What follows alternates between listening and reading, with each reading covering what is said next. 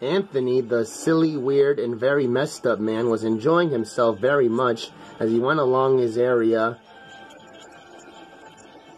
It was a wonderful day. Then he saw Thomas. Hello, Thomas, said Anthony. Aren't I a very amazing person? Uh, you're pretty decent, said Thomas, but, uh... But what, said Anthony. Out with it. There is another very amazing man that's coming to... over here to join us. Who? Where? His name's Jose. He's a little far away, but he's going to be coming to join us. When? Oh, someday. And Thomas hurried away. Meanwhile, Jose was enjoying himself on his in his area. It isn't very long, and that made him feel a little sad. Then he saw the Curtis man. Everyone's been very kind, but my area is so short, and I do miss some good long runs. I think you should go and tell the boss people. I'm sure they'll understand, said Curtis. Jose soon found out that indeed he was right. You know what, Jose? I feel just the same way. Then he came back with exciting news. Guess what, Jose? The boss man said we can go and the Dan man said we can go and visit his other workers in his area, and then it'll be a long run to get there. Oh, thank you, sighed Jose. They set off next day. By now, the other workers were all talking about Jose. He's a very amazing, funny, happy man. Did you know that? Anthony was beginning to get jealous.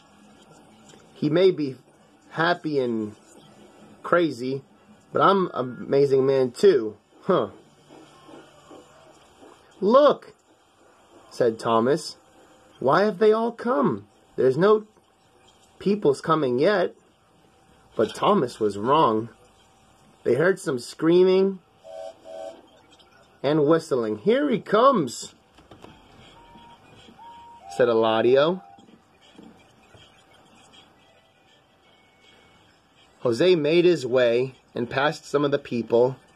I hope you'll meet Anthony too, said Luis. You both have great things about yourself. Then Jose set off to go and help out Scott, and they worked happily. Then Anthony arrived. Sorry, I can't talk. It's time for my last important job. Mustn't be late.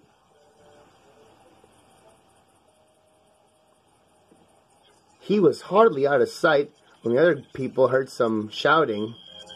Then came an alarm. Stop all things. A special, is it? I see.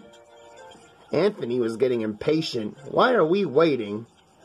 We're being delayed. Sorry, Anthony.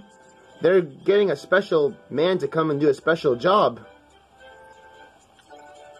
Soon he could see Jose in the distance, and he was carrying some supplies. As he made his way, Well, bust my private parts, said Anthony. Next day, he was still fuming. Oh my goodness, I can't believe this happened to me. What the heck, man? I'm sorry, said Jose, but I was a special. Why? The important man came just as you had left. He ordered a special thing.